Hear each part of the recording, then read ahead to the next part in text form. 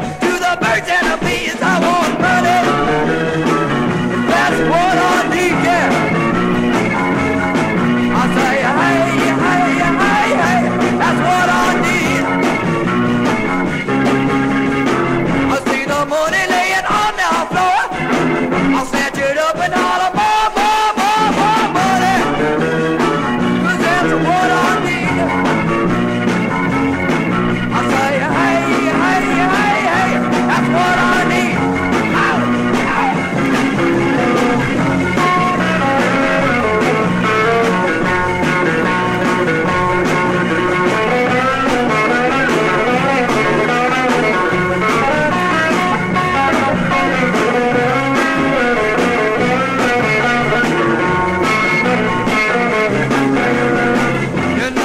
got the thing to cure your ills.